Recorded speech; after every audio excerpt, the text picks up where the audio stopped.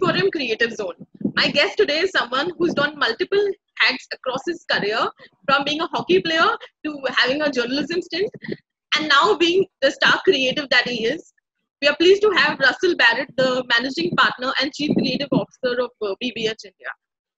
Hi, Russell. How have you Hi, been up amidst the lockdown and everything Uh, that's happening? not bad. Yes, not bad. Like I keep saying to people on calls, I could be better and I could be worse. So, uh, so th- that that's more or less the the, uh, the you know the situation in, in a nutshell. Like you know, not as bad as it could be for you personally, and your you know, uh, it obviously isn't uh, ideal in any situation uh, at any perspective uh, an ideal uh, you know uh, an attempt to make the best out of uh, uh, what's going on uh, around you both Right. personally and professionally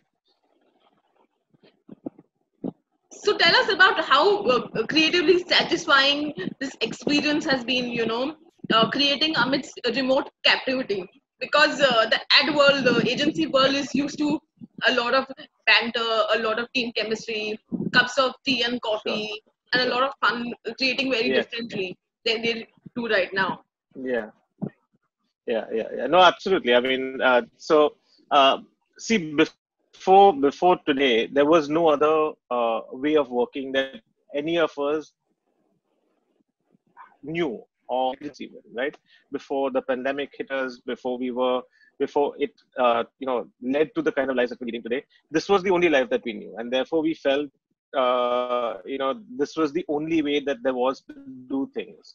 Um, i think the pandemic has taught us a lot of uh, uh, you know a lot of new skills that we didn't realize we had. And it's also uh, you know uh, it's also shown us the mirror in many ways of where it is that we could be a lot better better i'm i'm not i'm not necessarily you know i'm not again like i said i would never be thankful for what it is uh, but i do feel that it's important to be positive and sort of like you know look to see what you can learn from every situation. So and i think that the pandemic uh, has allowed us to to do that in a way that we've never had uh, cause to learn in the past. Right. so you're right when you say you know the the the chemistry in a room uh, especially when you're you know when you're meeting a client for the first time or you're or you're pitching for the first time the chemistry was really has always been really important um, and it's extremely difficult to capture the chemistry over a zoom call or a microsoft teams meeting or a google meet. It's difficult to capture the chemistry. So therefore you know it, it, you have to you have to do other things. Uh, the the way that we interact with work uh, has also changed you know. Uh, personally i've never been a fan of the brainstorm. Uh, i don't think uh, great work comes out of a brainstorm at all uh, i think good or slightly average work comes out of a brainstorm. That's just my perspective. Of course there'll be people who disagree with me. Because i feel that ideas come from an individual and then uh, others collaborate to make them better. And that can still happen remotely Hmm. you know uh, uh, an idea necessarily and if you have to be honest with yourself uh, an idea will come from an individual. The, the germ of the idea the seed of the idea comes from one person. And then the others sort of sort of like you know build on it and say like you know what if you have that music what if you have uh, what if you have it from you know look at it from that perspective instead? And that is still possible you know it's still possible online it's still it's still possible to do it over a call. Uh, but you know the banter the the cups of coffee some of the time that we need to uh, sort of like you know to to break from the uh, you know from the pressure of work that is not there uh, it's i think in a sense made us a little more mindful about time. And that's a good thing for the for the world of advertising.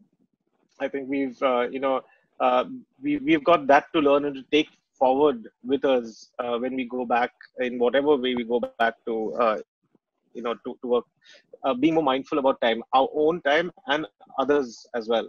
You know because i think that that's been a really important learning especially you know when you're when you're uh, sort of like you know running an agency and running a big creative, uh, creative department uh, you you need to understand that you know people's time uh, the the work from home aspect uh, so, sometimes you you forget that it's from home and then you have to work for the home uh, Mm. so you know you have to you have to uh, you can't uh, expect people to you know have the same kind of hours that they would have had when they were in an agency because they also have to cook for themselves, they also have to clean the care of their families. And so you're you're a lot more mindful about time i, I believe. And uh, i think that's a good thing. it's a good thing for the advertising world as well.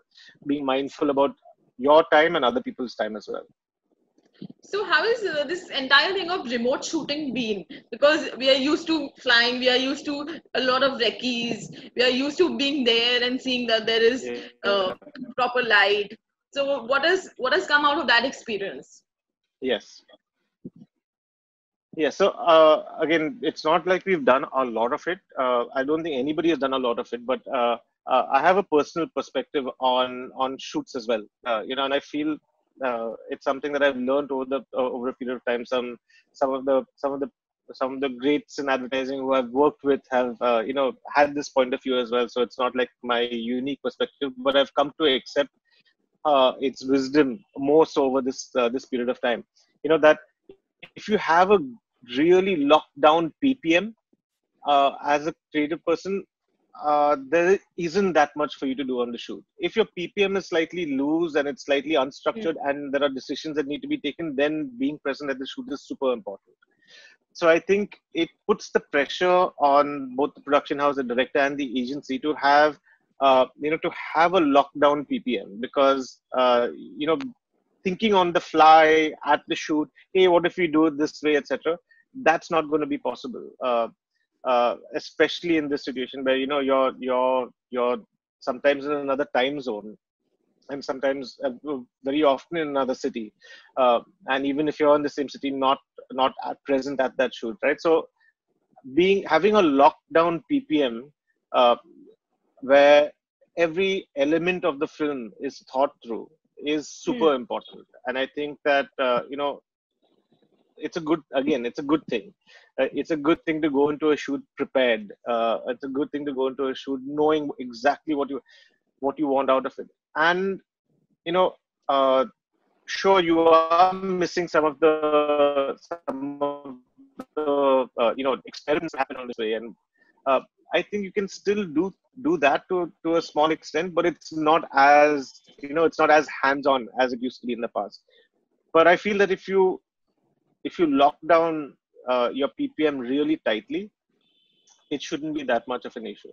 Uh, we are we are about to get into a, a, a fairly big production now, and so uh, I'll I'll be able to give you more learnings, uh, you know, post that post that project. But um, uh, the conversations that I've had with the client with our clients as well, uh, and to reassure them about you know the supervision and the uh, the kind of shoot that we need to have has been on those lines. Worked really hard on the PPM to ensure that all questions, all decisions, all the been. We'll have a much more fluid shoot.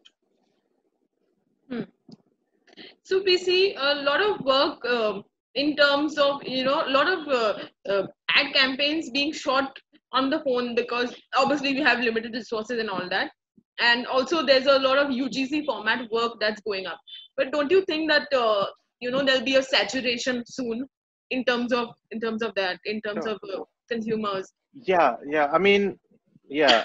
Uh, again, I, this may not be uh, this may not be a, a, a, widely shared opinion, but I'm not a great fan of you know of the person and the first film that that did it. Great, fantastic. They, you know, they did something that people had not done before. Uh, right and subsequent to that, uh, I don't. Uh, I'm not impressed with another, uh, and I don't think the audience even uh, forget forget forget about me. It's like no, I'm not uh, the most important. The audience is the most important thing. The, you you're you're not that you know you're not that impressed anymore because it's not new. You you know there are lots of people doing it. You come back to the heart of the matter, which is how compelling is the idea, how how uh, you know how touching is that is that piece of filmmaking and uh, whether or not it's been shot at home it becomes less relevant the the hype about oh we did this at home so therefore you know uh, we should get a medal is not is not necessarily you know uh, the place that people are coming from anymore mm. you hmm. know uh, again you're you're being you're being asked to to like you know uh, look at the the the basic fundamentals of like you know what's the idea and uh, how well is is it being told? Sure you're doing it from home but you can still do it really well. Um, and sure you're doing it from home but you can still have a sparkling idea. And i think that uh, you know uh, that initial first mover advantage is now done. You know uh, we are uh, what's the idea? How well is it being told so also if you can uh, take us to uh, you know some of uh, some of the work that you uh, done at bbh amidst the lockdown that'd be very interesting. Sure. also sure. the lockdown took us all by surprise. So um, how did you you know what was your uh, reaction initially and you know uh, overcoming the initial hiccups? How was how was all of that? Tell us about that. Yeah yeah, so uh, I'll talk about the second part of the question first because I'm sure that you know, uh, uh, you know, we can we can share uh, the work uh, that we've done, uh, you know, with you as well through links, etc. And you can see that. but the second part of the question, I think, is it, it's fairly interesting because um, you know my so my so my son was and I'm digressing a little bit here. my eldest son was you know has just his 10th standard and we were uh, he was getting admitted into this uh, his 11th grade and the school in the high school or the junior college that he was going to had a meeting with the parents and talked about you know what do you think is the most important skill uh, that your your child should have for the future? And this was before the whole pandemic shutdown etc and you know all of the parents were going like you know hard work and perseverance and you know all of those things. And he said yeah you know that's all good but uh, what do you think is the most important skill and we, we kept going mm-hmm. back with like you know it's it's this it's that it's um, and his his answer to us really uh, actually you know uh, i kept thinking about it through the pandemic uh, uh and through the uh, through the through the different reveals and different stages of the pandemic and his answer really was that the, the biggest skill that we need for the world going forward is adaptability That's beautiful.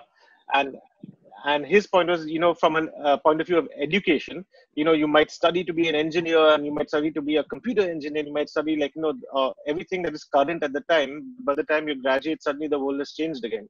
Uh, so being adaptable is is really key. And i kept thinking about that uh, you know every time uh, uh, you know every time one of these big announcements happen and like you know lockdown is being pushed and lock and um, and if i look back at very early stages, the people who were uh, more adaptable um, and adapted faster were the people who you know were, were better at it, and uh, that's I think that I think is going to be more key than ever going forward.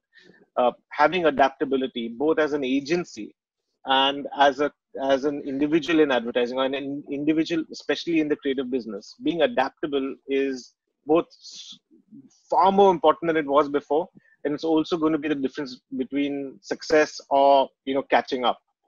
Mm. right. So uh, so to your to answer your question uh, back in the day when you know when when lockdowns were announced and extensions happened and then you know different things happen uh, the, around it being adaptable and being ad- adapting to that and saying okay fine. So now this is the new reality.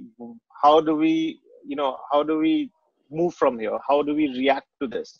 How do we uh, you know how do we change some things that we were doing uh, earlier uh, into into another thing? Uh, and having that mindset i think is going to be extremely critical going forward. Extremely critical. Uh, uh, and if you're yeah like you know if you're if you're going to be kicking and screaming against the changes you're going to find it a lot tougher because change is going to change is the only constant. It's the only agency model of the future, like you know, one that's continuously changing. And if you're not going to accept that, you're going to be battered by the by the changes that life and the world are going to throw at you. And so, yeah, coming back to that uh, educational uh, uh, that the education I received at my at my son's uh, you know junior college uh, interview, I think that that is that is absolutely true for all of us today uh, being adaptable to the changes that will occur and are going to continue to occur. So now you can uh, just uh, take us through uh, some of your most uh, yes. creatively satisfying work that you've done at BBH. Yeah, yeah. Uh, uh, I'll I'll start off with actually a film that uh, you know a film that uh, an ex BBHer uh, has made, and we uh, I collaborated with him. Uh, it and it came from a very personal space, you know, uh, where uh, early on in the lockdown, where you know people were trying to trying to change the narrative or shift the focus of the narrative to the wrong, you know, to, to the wrong or distract people with the, with wrong information. Uh, and you know uh, whatsapp was being used in lots of uh, in, in lots of dramatic ways. Uh, a lot of hate was being spread um, and was you know uh, the attention was attempt uh, there was an attempt to divert the attention to uh, and we saw that happening at the early stage of the lockdown and uh, it's something that uh, this this this uh, ex-colleague of mine who, who i worked very closely with for i think over 12 years uh, uh, a young a really young uh, filmmaker now because he's just started making films called kunal Sawant, um, and he and i have worked together across three agencies and so he reached out to me with this idea that he had and he asked what i thought about it and you know how it should be uh, how how we should end it what what should the lines be.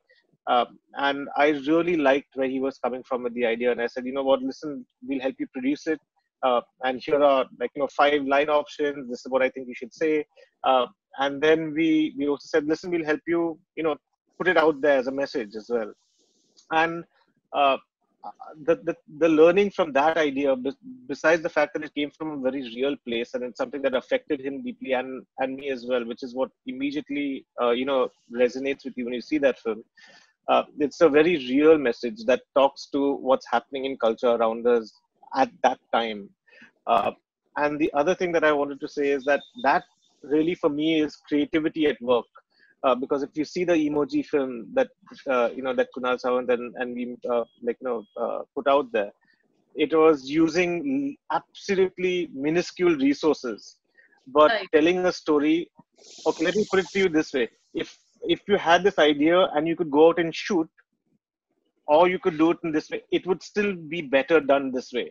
You know, so it was an idea devised and created for the skills that you have at hand uh, not as a compromise because you couldn't shoot. And I thought that that was the beauty of that idea. Uh, you know, it was beautifully crafted. Uh, there was no, uh, you know, there's nothing that you'd want to change with it. Even if you could go out and shoot, this is the way that you should actually be looking at that film. So I, I liked it for that reason.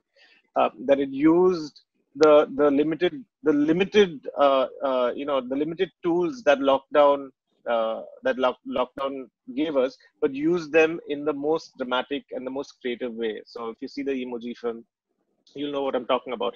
It is uh, the language of forwards. It is the language of uh, of, of social media, uh, and it had a really uh, you know it had a really profound point to make, which is uh, at that point of time I think you know essential.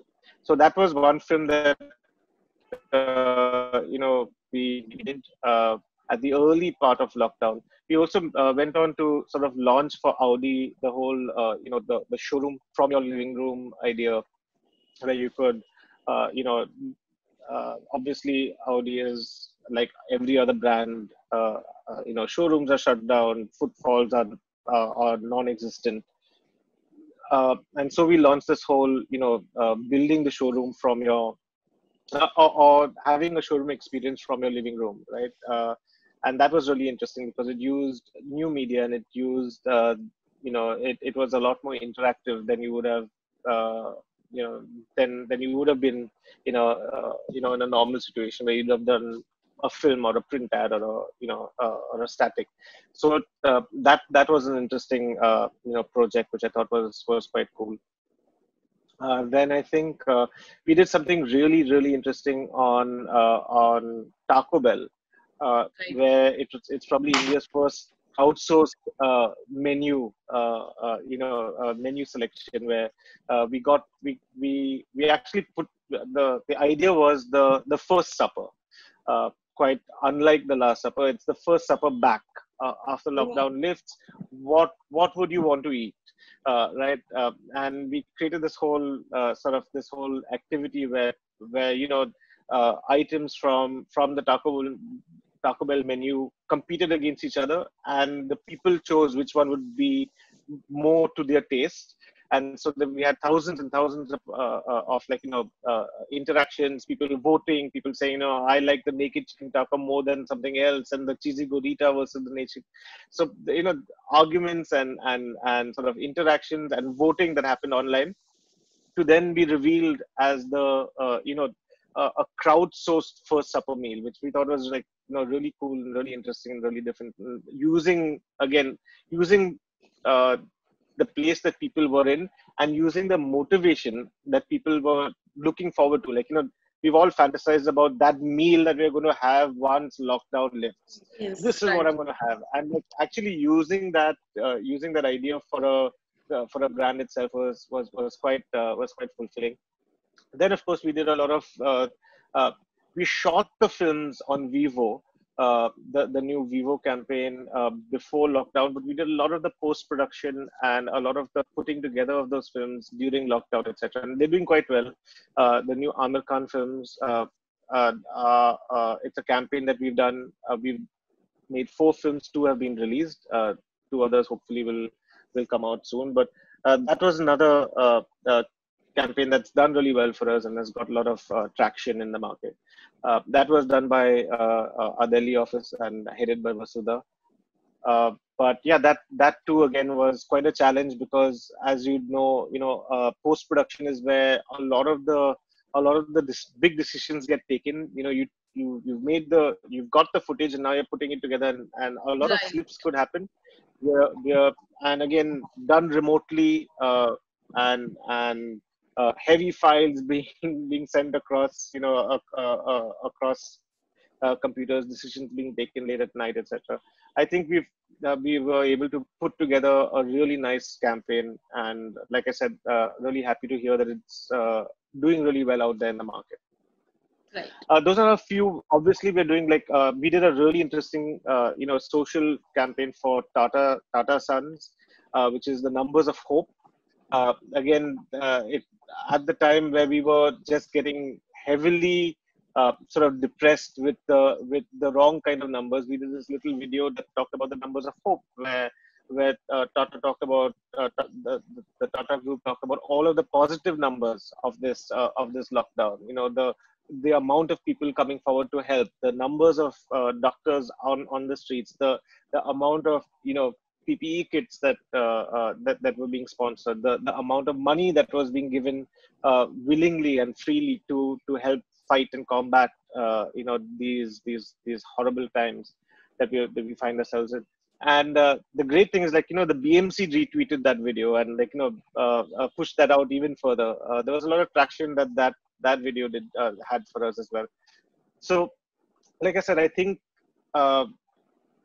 I think there's, there's, and of course, there are tons of work that we're doing on a daily basis uh, on social for all of our brands, and uh, uh, you know, a bunch of innovations that we're that, that we're working on as well. And uh, we've developed a lot of work. You know, we've used this time actually to develop a lot of, uh, you know, uh, for many of our brands, a ton of work that will hopefully now start to come out.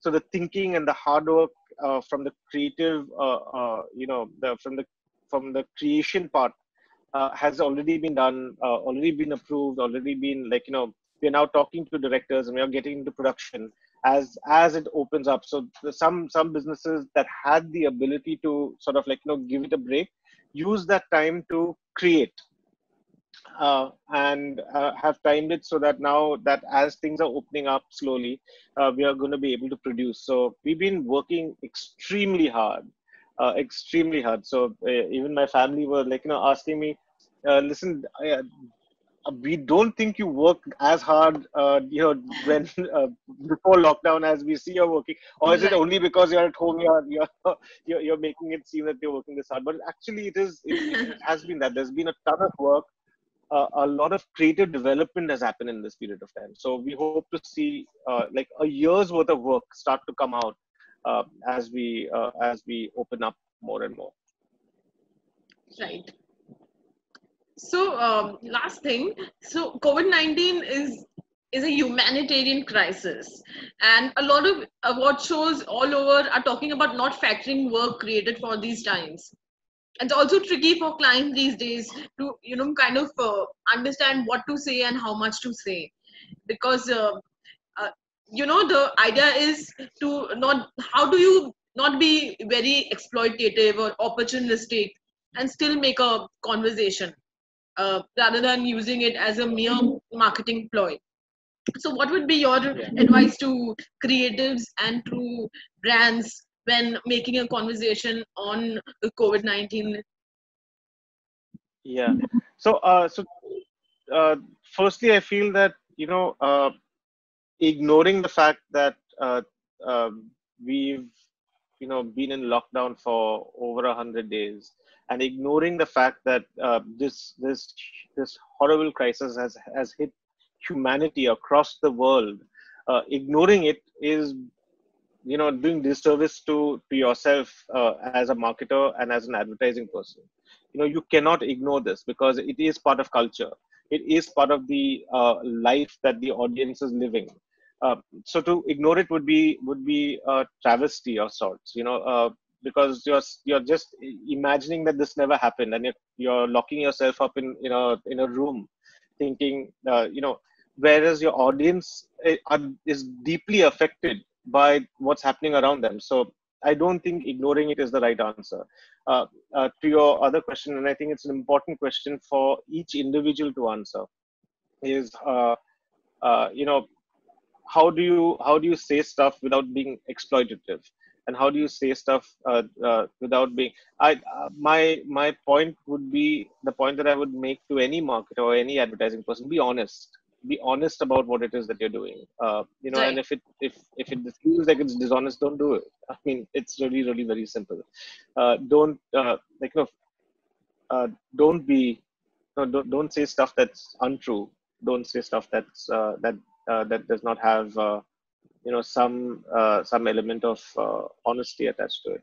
Uh, i think it's important to talk about and it's important to consider the world that uh, uh, we have we have been left with because of this pandemic. So you can't ignore it. But you know uh, you'll be you'll be eventually caught out uh, if you're and people aren't forgiving of uh, of brands that try attempt to fool them or attempt to uh, you know pull the wool over their eyes. And it's and, and most importantly it's visible from from a from a mile away you know uh, especially if you're if you're paying lip service to uh, to the world that uh, or or you know you're you're trying to be exploitative it's very visible from from from uh, you know from everybody's uh, perspective. So it will it will probably do more damage to the brand than good. Uh, be honest about what it is that you want to do be honest about what it is that you uh, that you hope to achieve. Be mindful of the fact that people have uh, have had a really really tough life right now. Uh, and uh, you know yeah uh, create messaging that keeps that keeps that in mind i feel. It, uh, it's extremely important to to to carry that forward. Right. As opposed to you know ig- either a ignoring that this has ever happened and carrying on like you know like you know, nothing is you know nothing has changed. Nothing else everything has changed. Right. Uh, you know you have to you have to accept it. Uh, but you know yeah but don't don't pretend to do things that you're not doing. Right. the the good thing is a lot of brands have stepped up and done amazing stuff uh, during this time. You know uh, from contributions to actual initiatives a lot of brands have actually done things because uh, i feel that it's an you know uh, it's something that has affected every single person. From Right. from the ceo of that company down to uh, you know down to the distributors. Everyone has been affected by it. So you know when you're being if you're being dishonest you're being you know dishonest with uh, from within as well. I think a lot of brands have genuinely been moved to do you know to, to act in really positive ways.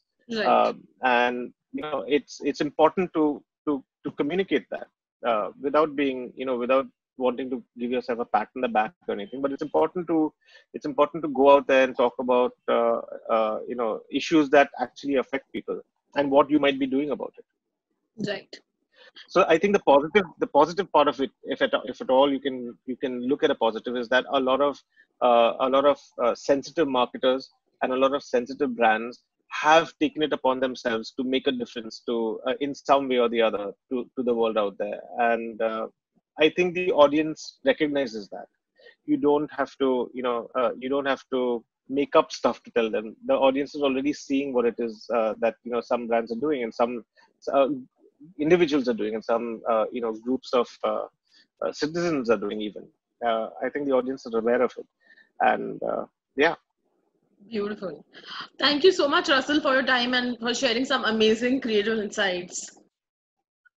Take care, stay connected. My pleasure. Stay Thank safe. you so much, Mithra. Thank you. Thank you so Bye bye. much.